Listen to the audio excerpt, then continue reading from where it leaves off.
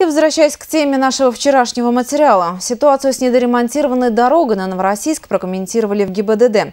Здесь настоятельно рекомендуют автолюбителям, которые пострадали из-за некачественного покрытия, обращаться в суд и требовать возмещения ущерба. И в этом сотрудники государственной инспекции готовы оказать помощь. Мы видим э, эту проблему, э, видели эту проблему с самого начала, как, как только работы были эти проведены.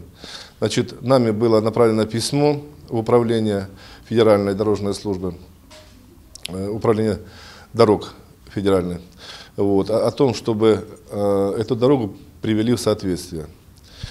Вот, э, и прислали лабораторию для того, чтобы провести измерение э, качества дорожного полотна. Анализ показал, что, как они нам дали ответ, что считается удовлетворительным. Ну, как бы мы не возражаем в том, что сцепление с дорогой будет удовлетворительным, но мы возмущены тем, что идет выброс камня из из-под колес автомобилей, которые двигаются по, по этой автодороге. Как пояснил, по, пояснили владельцы данной дороги, что нам пояснили, что в июле 2016 года будет, э, эта, данная дорога будет все переделываться, пере, перестилаться. Каждое данное происшествие нужно фиксировать, и в судебном порядке уже разбираться с владельцем данной дороги.